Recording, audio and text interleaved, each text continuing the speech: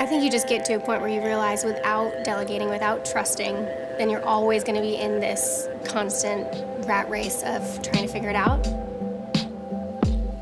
I mean, my life changed when I met Samantha with Belay and she started helping. She immediately became my buddy and support system. She knew how to help me prioritize when to tackle things, help draft emails. I felt like I had someone in my court to help me do all the things that always fell to the bottom of the list. So I took my first work sabbatical after six years in the company and took an entire month off. And so I was able to unplug for an entire month. And without Belay, I would have never been able to do that.